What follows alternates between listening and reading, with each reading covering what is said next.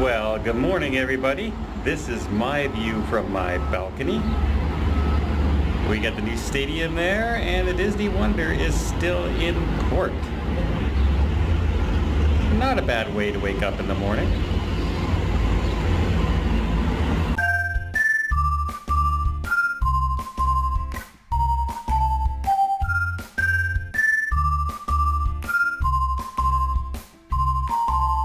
Okay, it might be a little loud outside, so I decided to come inside, and I thought I'd update everybody.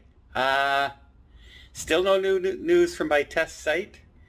Uh, no email saying it's been 24 hours now as of recording this video, noon today.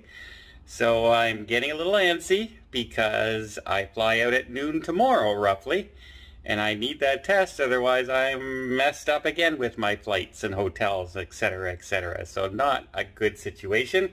No news in this case is not good news but I will tell you some good news that's going on out there over in Galveston, Texas, two more Royal Caribbean ships have been cleared and set sail for test cruises. The Symphony of the Seas and the Independence of the Seas that uh, will be bringing Royal Caribbean back online there. So that's good news. More larger ships as well.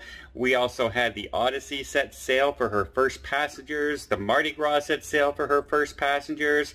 And some more cruise lines getting ready to start. Yeah, the much aligned, much anticipated, much scrutinized Virgin Cruise Line Scarlet Lady is finally going to be setting sail this week.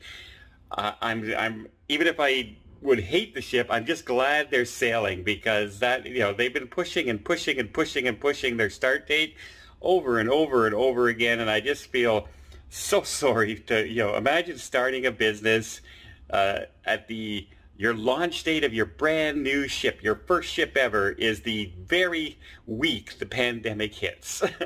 so I, I, just felt really, really bad for that. On other news, the uh, Rotterdam has been delivered for Holland America. She took possession of that brand new cruise ship.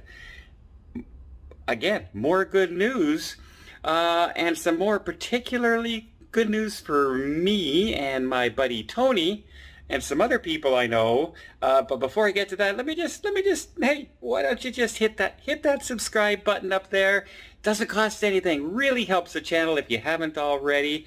I would really, really appreciate it. It, it really does, believe it or not, help the channel grow immensely.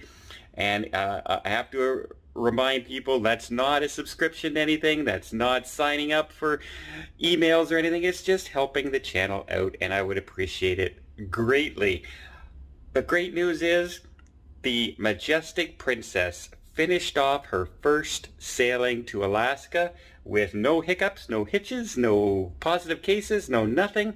And I'm on that ship in September, so I've been really looking forward to sailing on Princess again, although my, my sailing on the edge, remember, uh, my sailing on the edge, what happened afterwards has nothing to do with the impression I have from the edge as far as the ship is concerned and the staff is concerned because that's been really, really good. Um, my experience on there was doubly enjoyable. It was a beautiful ship, friendly staff.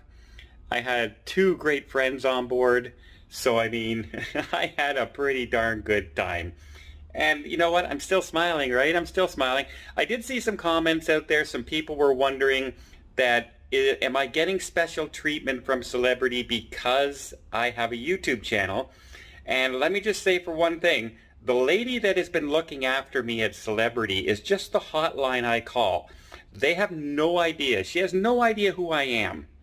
She has no idea that I have a channel. I am just Joe Blow who had an issue trying to get back to Canada and they've been looking after me. I haven't said, oh, by the way, I am Don's Family Vacations or, you know, I, I am a travel agent. I haven't said any of that. I just called up and said, this is my room number and uh, this is what happened and then my booking number and they have been looking after me. So as far as I know, they have no idea as far as the head office and the, like the, the help desk and the emergency lines, they don't know who I am.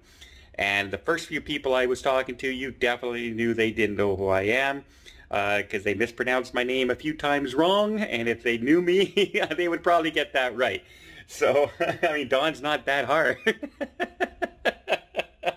but no, I don't think that's the case. I think they are generally trying to make sure everybody's happy because they don't want bad stories to go out one way or the other through word of mouth, through media, through news stories. I mean, how many times have you seen something go wrong and then a local news station picks it up and the next thing you know it's on the, the national news saying, oh, this person got kicked off the ship or this person has complaints. But uh, so they're looking at, they want to make sure everyone's going as smoothly as possible. And I think that's generally the consensus for most cruises. Now my buddy Tony over at Lalita Loca, he's heading to a ship today over in Miami, the first MSC cruise to set sail. And I'm curious to see the difference between the Edge and the MSC cruise because the protocols are completely different on board, at least for now. So I'll be tuning into that and see how he's doing as well. But as far as I'm concerned, my news, no news. I'll, I'll, I'll try and do a, an update video. If I hear anything tonight, I'll pop something out there.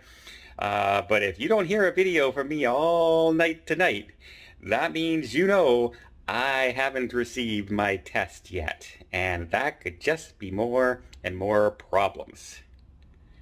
Yikes. Well, I hope you appreciate this video. If you did, please give it a thumbs up. We'll see more tips, more tricks, more travel vlogs from around the world. Hit that subscribe button. Till next time, uh, from Florida still, have yourself a safe and a great vacation.